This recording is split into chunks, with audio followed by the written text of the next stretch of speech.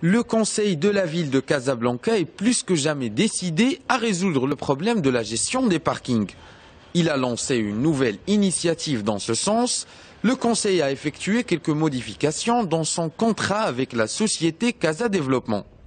Un accord qui vise à doter les artères majeures de la ville d'orodateurs ainsi que l'aménagement des zones de stationnement à durée limitée. Les gardiens de voitures devront désormais se contenter de quelques zones secondaires dans les artères les moins fréquentées de Casablanca. D'aujourd'hui. Donc c'est une convention qui a été signée avec le Conseil de la Ville en 2015. Donc aujourd'hui c'est une mise à jour de cette convention, surtout en, ce qui concerne la redevance qui doit être payée par Casa Développement. Donc dans la première convention, Casablanca devait payer 100 dirhams par place.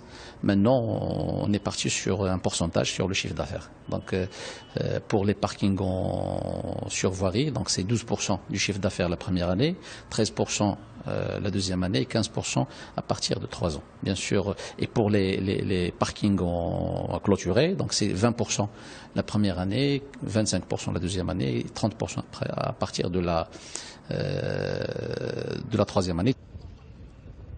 La ratification de ce contrat devrait permettre au Conseil de mettre de l'ordre dans les principaux boulevards et places de la capitale économique une mesure concrète pour s'opposer aux intermédiaires, mais aussi pour fournir davantage d'espaces de stationnement.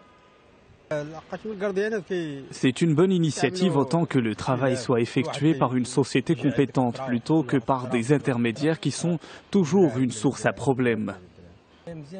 C'est une bonne mesure. Nous la soutenons tous. C'est bénéfique pour tout le monde.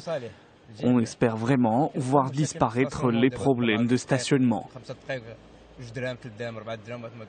Une initiative qui ne manquera pas de changer le paysage urbain de la ville.